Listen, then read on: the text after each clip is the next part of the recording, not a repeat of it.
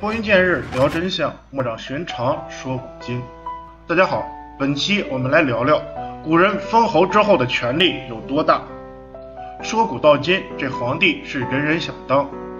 除了皇帝，其实当个侯爷也挺不错的。侯是个爵位，是从第一代帝王时期就开始了。那时候是商朝，商朝是部落统领从禅让制到世袭制的开始，也是名义上有最高统领人的开始。这世袭制呢，就是这个最高统领只能从一个家族里选出，自然这个家族就要求有特权了。说到底，这帝王的位子上也只能坐一个人，剩下的兄弟们眼馋怎么办？这就是侯爵分封的开始。在商周时期，侯爵主要是皇家自己人的东西，别人是没有份儿的。也就是说，只有和坐在最高位子上的人一个姓氏，封侯才有可能。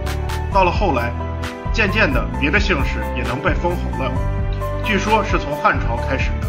不管怎么说吧，这也是统治阶级统治的一种政治方式。除了地位上的超然外，这侯爷的特权也是不少的。比如在古代的赋税，这和侯爷是没有关系的。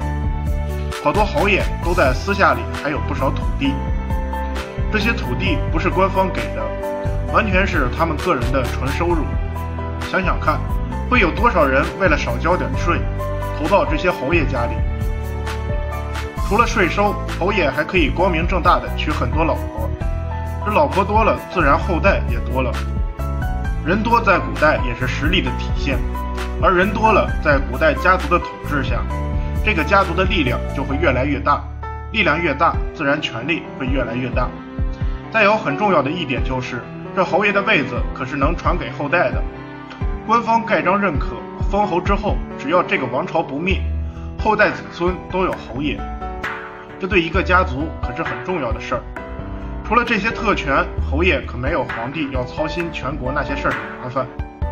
对很多现代人来说，只享受不管事儿才是最好的，这侯爷就是个不错的选择。好了，本期就到这里，感谢您的观看。如果你有什么想了解的，想要对我们说的，可以给我们私信或者在下方评论，您的兴趣就有可能成为下期的节目。